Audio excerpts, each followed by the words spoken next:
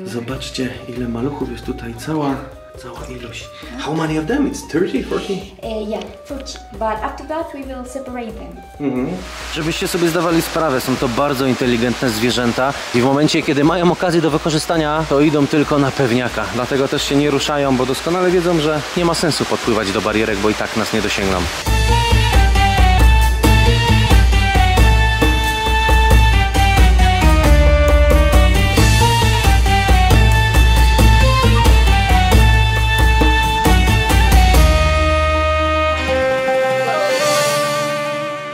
Dzień dobry moi drodzy. Całą noc padało, grzmiało i fatalna pogoda. Teraz w końcu zaczyna coś się gdzieś przejaśniać. Godzina 10. Uznałem w takim razie, że będzie to dobry czas, ponieważ bardzo się nie spalę, żeby pojechać na farmy krokodyli. Tutaj właśnie na Dżerbie w Tunezji jest największa farma krokodyli w całym basenie Morza Śródziemnego i przytrzymują tutaj prawie tysiąc sztuk tych zwierząt. Na początku szybciutko jeszcze Wam powiem, jak się poruszać w ogóle po całej Tunezji. Najbezpieczniejszym i najszybszym środkiem lokomocji są taksówki. Ze względu na to, że są przede wszystkim bardzo tanie. 80 groszy za trzaśnięcie drzwiami i za przejechanie 15 km zapłacimy może 6 zł. Są naprawdę tanie. A jeżeli chcielibyście poruszać się autobusami, po pierwsze, na ich punktualność za bardzo nie macie w ogóle co liczyć, a stan techniczny woła o pomstę do nieba. Nie. Ceny taksówek są bezpośrednio określone przez rząd, także najlepiej, jeżeli wsiadacie do taksówki, no to jedziecie po prostu na licznik i wtedy unikniecie jakichkolwiek prób naciągnięcia. Taksówki są bardzo charakterystyczne, ponieważ są koloru żółtego, mają oczywiście na dachu znaczek taksi i najlepiej chyba nimi podróżować w cztery osoby, no bo wtedy koszta się rozkładają na cztery, a czasem się zdarza, że nawet i pięć osób wezmą. A przepisów za bardzo tutaj nie przestrzegają. Przez to, że padało, tej chwili zrobiła się straszna duchota. Bardzo parno, bardzo wilgotno. Momentalnie z człowieka się leje. Zaraz taką taksówkę postaram się tutaj złapać, no i zobaczycie jak ten proces wygląda. Oczywiście mogłoby się wydawać, że Tunezja, Dżerba, no to przede wszystkim piach, piach, piach i same pustynie. Natomiast nie, jest tu naprawdę wiele fajnych i przyjemnych miejsc, które warto zobaczyć. Między innymi jest to właśnie farma krokodyli. Dużo o takich miejscach słyszałem i zdecydowałem się odwiedzić akurat tą farmę tylko z jednego względu. Ponoć tych krokodyli nie hodują tutaj ze względu na mięso i skóry. Hodują je tylko w celach przedłużenia gatunku, jak i po to, by mogły znaleźć schronienie. Ja pierdzielę, te mrówki są przekozackie, są tak duże. Idziecie sobie, a tutaj tak po prostu wszędzie rosną daktyle. Takie ich duże kiście. Ale duże. No taka jedna waży kilka kilo. No i zobaczcie, wołałem taksówkę i w tym momencie się wraca. Już kogoś wiozą, ale chyba się uda dołączyć. Crocodile Farm? How much? My taximeter. Dobra, w takim razie wsiadamy. Plecaczek sobie tylko zdejmę. Na szczęście farma krokodyli nie jest daleko. Jest to kilka kilometrów tylko stąd, więc pewnie będzie groszowa opłata. Ana es mi... Kamil, es magé. Anas Merida. Rira. Ouais. Taxi de Djerba.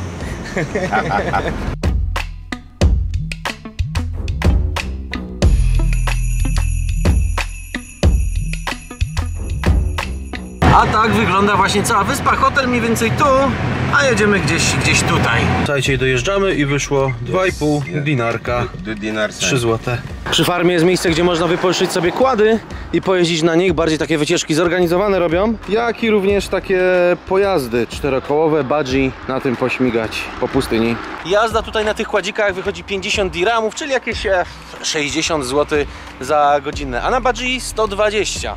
I zobaczcie, jaki ładny też tutaj jest e, powóz, w którym można sobie siąść i zrobić wycieczkę po lagunie konikiem. Pora w takim razie wejść na farmę krokodyli. Otwarta od 9 do 18.30. O godzinie 17 jest skarmienie tych potworów. No i przy wejściu na pewno będą każdemu mierzyć temperaturę ciała. Thank you. Po wejściu oczywiście naszym oczom okazuje się od razu tutaj duża ilość sklepików z pamiątkami i restauracji, gdzie można coś zjeść. Jest również coś takiego jak Laila Hadria Muzeum, czyli Muzeum Sztuki Lokalnej. I taki bilecik kosztuje tutaj 20 dinarków. Thank you. Właśnie w cenie biletu jest wejście do Laila Hadria Muzeum, Diyarbakir Heritage, czyli też takie muzeum po prostu y, dóbr narodowych oraz parku krokodylami. Najpierw idziemy do niego. Kasowanko. Thank you. Tak jak mówiłem, znajduje się tutaj około 1000 krokodyli, z czego 400 są to dorosłe. Największa tego typu farma w basenie Morza Śródziemnego. Są tutaj te krokodyle hodowane i wysyłane do innych farm, jak i y, ogrodów zoologicznych na całym świecie. Co prawda jestem tutaj z rana i chyba pory karmienia nie doczekam godziny 17. Troszkę za dużo. No fajnie byłoby zobaczyć jak te duże, potężne, masywne cielska rzucają się wyłaniając z wody, by, by coś zjeść. A może coś się uda innego. No proszę, a tu zobaczcie co rośnie. Czarnoliwki, ale jaja. No i cała właśnie ta farma krokodyli znajduje się na terenie parku Dierba Explorer Park, w którego skład wliczają się właśnie i te muzea, jak i Centrum Sztuki. Wygląda to ładnie, tylko póki co tutaj no prawie zero ludzi.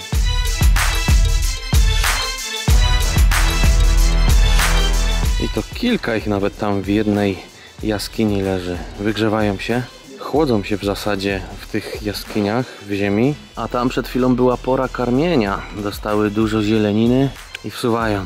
O, a tu kolega chyba wyczuł, że jest żarcie. Wyszedł i śpiesznym krokiem ciśnie. Numer 07. Każdy oczywiście na karapaksie opisany. Ogólnie park podzielony widzę na takie sektory. W każdym znajduje się troszkę inne zwierzę. Tutaj widzę jedzenie porozrzucane, ale nie bardzo wiem jakie stworzenia tu są, bo nic nie widać. No proszę, a tutaj wspaniałe legwany się wylegują.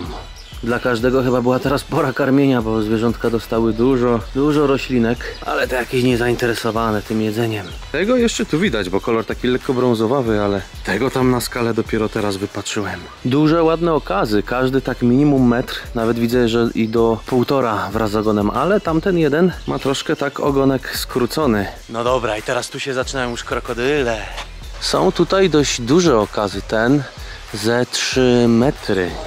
Tam leży jeszcze więcej i też za tymi krzakami. Ale powiem wam, że teoretycznie zabezpieczenie tutaj żadne, bo tylko to wystarczy przejść i, i do krokodyli można wskoczyć jako pokarm. No jest tutaj ich naprawdę dość duża ilość na, na w takim terenie. Większość z nich spokojnie się tu wyleguje, ale są również takie, które tam pływają w tej wodzie. Spójrzcie tylko na te wszystkie masywne cielska. Tak naprawdę są one tutaj parę metrów od człowieka, wręcz można by powiedzieć, że na wyciągnięcie ręki. Na pewno co można powiedzieć, to nie dajcie się zwieść nigdy takiemu zwierzęciu, pomimo tego, że one tutaj leżą i wydaje się, że są w bezruchu albo śpią, są to bardzo agresywne stworzenia i wejście takiej, na taki wybieg mogłoby się bardzo źle skończyć. Jak się przypatrzycie, tam to nawet troszkę rybek pływa, ale nie są tym zainteresowane, bo o 17 dostają kurczaki. Pan mnie tutaj prowadzi, bo ponoć można zobaczyć maluchy, małe krokodyle. Zobaczcie, przez szybkę. Takie maluszki. O, jakie słodkie. Mam gdzieś koło 25-30 cm, czyli mają parę miesięcy maksymalnie. No jest ich tutaj całkiem sporo. Wszystkie bardzo ciekawskie przyglądają się i na pewno głodne, ale uwierzcie mi, że nawet taki maluch, który ma 30 cm, może całkiem mocno zranić w rękę, po, no wiadomo, palca nie odgryzie, ale poobdziera skórę z niego. Mają już bardzo ostre ząbki. Mocno i żywo zainteresowane są tym, co się tutaj dzieje. A tutaj macie pokazane, jak wygląda mniej więcej gniazdo krokodyli. Jajka, troszkę podobne chyba do takich jaj gęsich, albo trochę większe jak kurze. Proces polega na tym, że krokodyl wykopuje dół, do środka składa jaja. I płeć zależy w zasadzie od temperatury, w jakiej jajko przebywa. Niesamowite w tym wszystkim jest to, że już takie małe krokodyle bezpośrednio po wykluciu od razu mają ten instynkt zabójcy. No i rzucają się na każdy mały pokarm, który im się tylko trafi, więc w zasadzie takie zwierzę od razu rodzi się agresywne. Jest tutaj również kącik, takie muzeum krokodyli, w którym znajdziecie właśnie jajka, małe krokodyle, większe okazy, jak i również szkielety i czaszki tych zwierząt. I największy z nich, okaz, sprowadzony z Australii, ma 7 metrów długości. Są również tutaj krokodyle słonowodne. One charakteryzują się tym, że mają właśnie takie bardzo cienkie pyski. No nie wszystkie, ale większość. Tu jest właśnie taka czaszka. Tu jest alligator amerykańska, ale spójrzcie na tą czaszkę obok. Crocodylus porosus. Jaki potężny. Słuchajcie, te zęby mają mniej więcej 6-7 cm długości. No i znajduje się tu również szkielet pytona molurusa, ale tego już dużo na kanale pokazałem, chociażby ostatnio nawet z Tajlandii też był, prawda? Ha, i widzę, że też skóry wiszą. Niesamowite jest to, jak y, ciało krokodyla pokryte jest łuskami. Pod każdą taką łuską znajduje się również szkielet kostny i ponoć czasem nawet strzał z pistoletu potrafi być zatrzymany. Zobaczcie, można również tutaj kupić zęby krokodyla, 50 dirhamów, 70 i są nawet takie bardzo, bardzo duże. Tylko moi drodzy, jedna rzecz. Pamiętajcie, że wszelkiego rodzaju wyroby z części ciała zwierząt, nawet i zęby, podlegają ustawie CITES. Posiadanie, jak i przewożenie takich wyrobów jest nielegalne i wiąże się z poważnymi konsekwencjami prawnymi. No, ale są również też jakieś tam repliki, więc coś takiego można kupić. Z zębami krokodyli to sprawa akurat wygląda tak, że im przez całe życie wypadają, chociażby podczas zdobywania posiłku, a następnie odrastają nielimitowaną ilość razy, więc stąd też taka ilość zębów, y, mam nadzieję, że znalezionych. Niesłychane jest to, jak krokodyle się obserwuje, one są zawsze takie zaspane, oczy zamknięte, chociażby nawet jak i te tutaj. Wydaje się, że zwierzęta łagodne, ale one cały dzień się wygrzewają w słońcu. Poprzez to w mięśniach gromadzą energię i czekają po prostu na najlepszy moment. E, A czasem taki moment w naturze może nie nadejść, bo czasem nawet zdobywanie pożywienia, dwa lata. Mm. No tutaj są bąbelki, to znaczy, że na dnie jest jakiś przyjemniaczek. O, nawet się chyba wynurza. Hehe. Zaczerpnie powietrza i da pewnie znowu zaraz nura. Jak dla mnie krokodyle są to niesamowite stworzenia i zawsze się nimi bardzo, ale to bardzo dużo interesowałem. E, Zdobywanie pokarmu, tak mówię, potrafi trwać e, w czasach niekorzystnych dla nich, nawet do dwóch lat.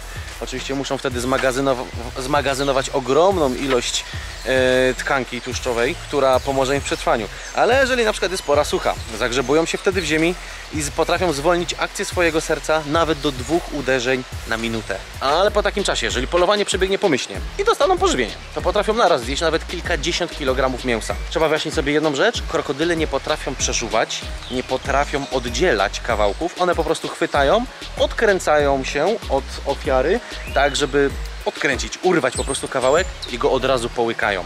Szczęki nie są w stanie yy, przeżuwać. Park jest dość duży. 400 dużych okazów, w których tutaj pływa, no ma miejsce przyjemne do życia. Są również wodospady, są jaskinie i są zrobione kryjówki dla nich. Na pewno cała ta ilość krokodyli musi zjadać dużą ilość kurczaków. Ale lata tutaj również duża ilość gołębi, takich polskich gruchaczy. Zastanawiam mnie, ile takich gołębi zostało zjedzonych w momencie, gdy na przykład siadło sobie na krokodylu, tak po prostu by posiedzieć i on nagle go pożarł. Akurat gołębie i ptactwo nie są za dobrym pokarmem dla krokodyli, ponieważ mają pióra. A piórami taki gad może w łatwy sposób się zaczopować, dojdzie do potem do zapalenia otrzewnej i nie ma gada. Hmm? Swoją drogą jest to bardzo częsty przypadek i jeżeli takie krokodyle się gdzieś hoduje, to trzeba mocno na to uważać. A tutaj e, specjalna zagroda dla troszkę e, mniejszych okazów. No ale tutaj to jednak one leżą jeden na drugim. Śmieszne, bo wszystkie te zabezpieczenia tutaj to jest coś, co totalnie nie ma racji bytu w Europie. Zobaczcie, mureczek, na którym można siąść i, i zaraz są od razu krokodyle. Czy przeskoczyć, czy włożyć rękę, no mogłoby dojść do tragedii. Mam nadzieję, że nie było tutaj takich przypadków. No ale jakby nie było, jest tutaj ciepło, jest przyjemnie, jest dużo wody i przede wszystkim słońce, którego te zwierzęta potrzebują. Zobaczcie, jak widzicie tutaj takie ślady zygzakowate, to od razu widać, że to szedł krokodyl. Zygzak, który zostawia ogonem, a między nim łapy odbite. Bardzo charakterystyczny ślad, który zostawia krokodyl. A tutaj duże, potężne cielsko pcha się do wody. No, damy radę? Zmęczył się. Ze szczękami krokodyla to jest tak, że jeżeli nas już chwyci, to siła ugryzienia jest tak potężna, że nie puści i będzie trzymał do momentu, aż, aż nas po prostu nie zje. Ale jeżeli byśmy takiego krokodyla chwycili za paszczę zamkniętą, to mięśnie rozwierające szczęki są tak słabe, że spokojnie można je trzymać e, rękami. I, I w żaden sposób tej paszczy nie otworzy. Osoby, które zajmują się łapaniem tych zwierząt, używają na przykład zwykłej taśmy izolacyjnej do kabli. Wiecie co mam na myśli? Tej czarnej takiej, co izolujemy kabelki, jak nam, e, jak nam się przetną. Taką taśmą kilka razy obowiązuje się pysk i krokodyl w żaden sposób jej już nie otworzy. Przy czym cały czas oczywiście jest niebezpieczny. Drugą, najgroźniejszą rzeczą oprócz zębów i paszczy krokodyla jest ogon. Ogon, który stanowi połowę długości ciała. Jeżeli nim uderzy, może połamać nasze kości. Żebyście sobie zdawali sprawę, są to bardzo inteligentne zwierzęta. Mówi się, że w ogóle jedne z najinteligentniejszych zwierząt. I w momencie, kiedy mają okazję do wykorzystania, to, to idą tylko na pewniaka. Dlatego też się nie ruszają, bo doskonale wiedzą, że no, nie ma sensu podpływać do barierek, bo i tak nas nie dosięgną. A na obiekcie zrobione są jeszcze takie pufy z palmy, że można sobie siadać. Jest to w ogóle bardzo leciutkie, bo no, palma to nie drewno prawie. Cała ta farma to 20 tysięcy metrów kwadratowych powierzchni, na której znajdują się wszystkie te krokodyle. Zostały one tu ściągnięte specjalnie z Nilu, czyli są to krokodyle nilowe. Można oczywiście codziennie obserwować proces karmienia, jak i również wylęgania się młodych z jaj. No nie codziennie, akurat obecnie nie ma, ale y, pięknie byłoby zobaczyć, jak wychodzą z jajek. Hmm? Bardzo ważna rzecz, jeżeli pijecie wodę albo staracie się, nie myć zęby, zawsze używajcie wody butelkowanej. Woda w jakikolwiek sposób tutaj z kranu nie jest zdatna do picia i możecie się nabawić poważnych problemów żołądkowych, także unikajcie. A jak się dobrze przypatrzycie, to tutaj jest matka i tam ma maluchy.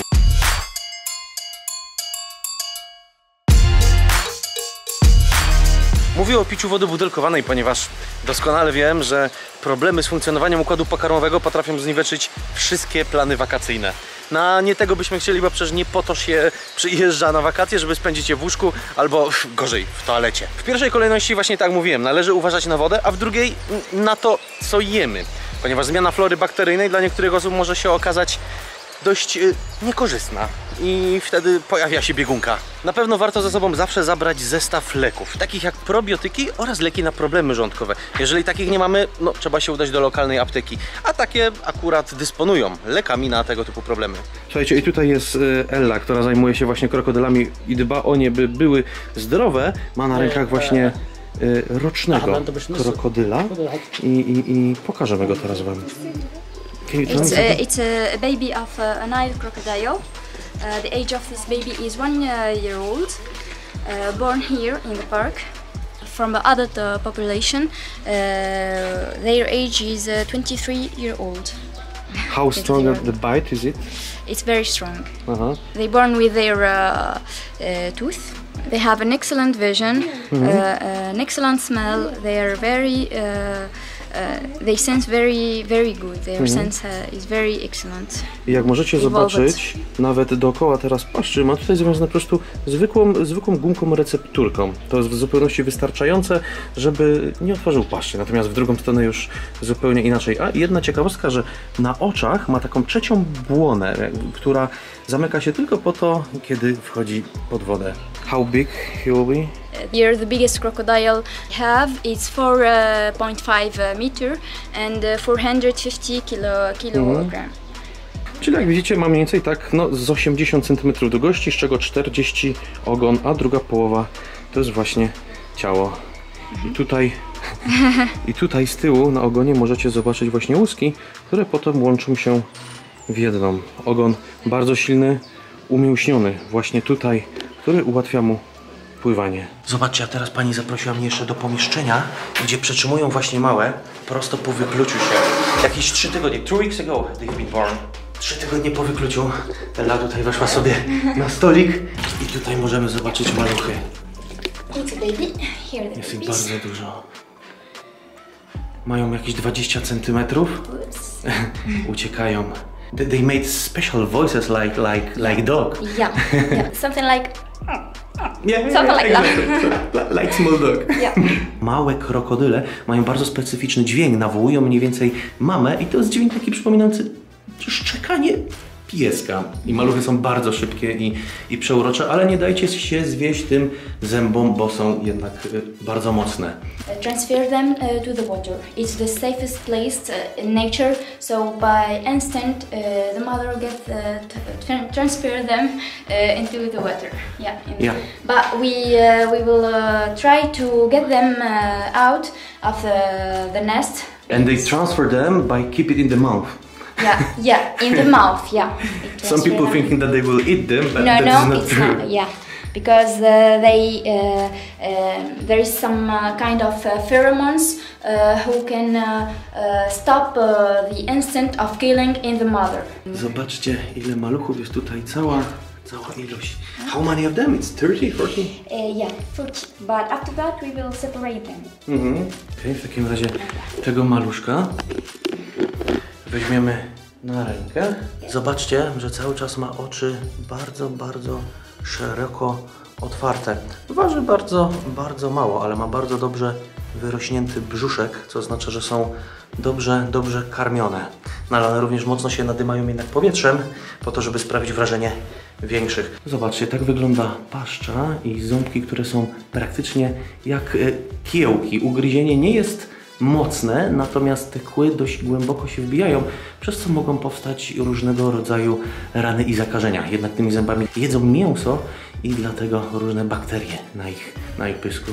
Powiem Wam jeszcze tak kilka ciekawostek, że łącznie są 23 gatunki krokodyli na świecie, a słonowodne są największymi gadami na naszej planecie. I o ile maluchy, tak widzieliście przed chwilą, mają 20 cm długości, no to te największe mają do 6 metrów. O, największy miał 7 i ważą ponad tonę. Potężna waga. Oczywiście jak wszystkie inne gady, są zimnokrwiste. No a ze względu na tą swoją potężną masę są y, szybkie, ale tylko na króciutkich dystansach, ponieważ bardzo szybko się męczą. Słyszeliście o czymś takim jak krokodyle łzy, bądź że krokodyl płacze? Jest to troszkę fałszywe, ponieważ krokodyl jedząc pożywienie połyka dużo powietrza, a powietrze wchodzi w kontakt z gruczołami produkującymi łez, no i to jedno drugie wymusza. No i są to również stworzenia, które bardzo długo żyją już na naszej planecie, współistniały również z dinozaurami. Mówi się, że około 240 milionów lat. A jak długo żyją krokodyle, to oczywiście wszystko zależy od gatunku. Mówi się, że od 30 do 75 lat. Składają od 30 do 60 jaj, które wylęgają się mniej więcej po 55 do nawet 110 dni. Krokodyle posiadają najsilniejsze ugryzienie wśród wszystkich zwierząt na świecie. Hmm. I na, z, przed chwilą mogliście widzieć, jak wiele z tych krokodyli leżało z otwartymi paszczami. Czemu?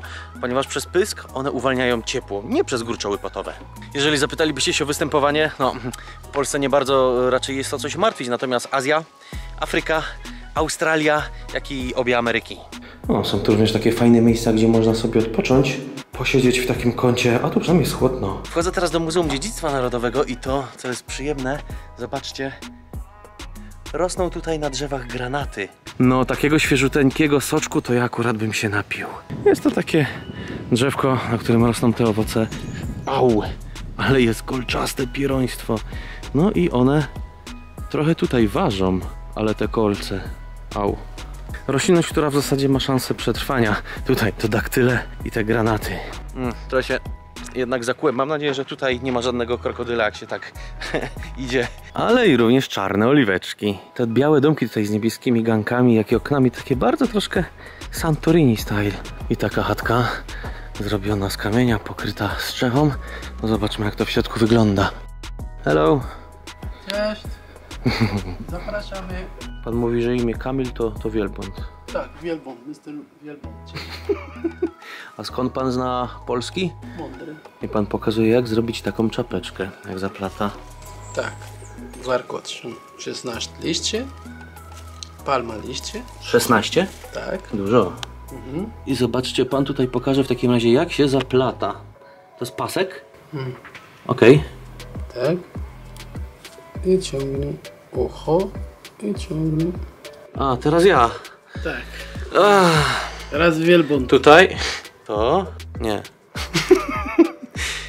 e, jak to było teraz? Przepana. Coś szpitoliłem. Tak, to wiele, wiele ręce. Oj, zobaczcie, pan mi tu robi bransoletkę w takim razie z liści palmowych. Tak. Potem Mr. Wielbłąd. Można pływać na krokodyl. a Krokodyl nie gryzie. A krokodyl nie gryzą w ogóle. Przede wszystkim w tym miejscu możecie zobaczyć, jak wyglądały kiedyś stare zabudowania tunezyjskie, no i z czego się żyło i jak wyrobiało właśnie produkty codziennego użytku, choćby jak te kapelusze.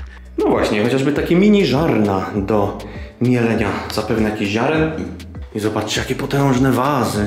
Na takim garnku oczywiście się gotowało, ale mają dużo i czosnku, papryki i przypraw. No, ale są tu pokazane również zwierzęta, jakich używano. Osiołki oraz wielbłąd. Osiołki sobie chodzą pod drzewkiem oliwnym. Cześć! Jakie słodziaki. A ten mi tu głowę wysunął. Cześć kolega. Cześć. I za uchem tak podrapiemy. No i znajduje się oczywiście wielbłąd, dromader, jednogarbny. Krokodyle w takim razie zobaczone, troszkę informacji więcej się o nich mam nadzieję dowiedzieliście. Na koniec oczywiście tej wyprawy w parku jest jeszcze muzeum. Muzeum Dziedzictwa Narodowego. Znajduje się tutaj wiele biżuterii, dywanów na ścianach, jak i obrazów. No i to się okazuje, że to jest w ogóle diadem. Ładne te rzeczy, eksponaty, tylko jedna rzecz, że to jest wszystko zapisane po francusku i nie bardzo człowiek jest tu w stanie coś się dowiedzieć. Biżuteria piękna, ale czy by nosił człowiek teraz coś takiego na całą szyję? Mm. O proszę, i całe stroje jeszcze. A tutaj cała sala wazonów. Oczywiście te wszystkie dywany i wazony są ładne, ale ludzie do tego miejsca nie przyjeżdżają po to, by zobaczyć takie artefakty i nie do muzeum, no bo jednak tutaj ludzi przyciągają te krokodyle. Samo muzeum, no puste, żywej duszy tutaj, ogromne, a ilość przedmiotów, no skromna. No, ale w końcu Dżerba to wyspa, mała. To prawie jak szisza, ale nie, to nie szisza. I takie drewniane skrzynie pełne skarbów. No ładnie to wygląda. Ale szable za to, którymi wojowano, ładne. Wszystko ze względu na to, że z padało. Powstała para, niesamowita duchota. Ja w takim razie uciekam z tego muzeum, lecę do hotelu prosto do basenu. Jeżeli odcinek Wam się podobał, koniecznie zostawcie łapę w górę i docencie ten, ten kanał subskrypcją. Będzie więcej takich odcinków. Zapraszam Was również na mojego Instagrama Kamilin Travel. Z niego oczywiście na bieżąco dowiecie się, gdzie jestem i co robię. To było na tyle, a tu jest jeszcze jedna fajna y, maska. Taki diobeł. Trzymajcie się, do słyszenia, piona i cześć.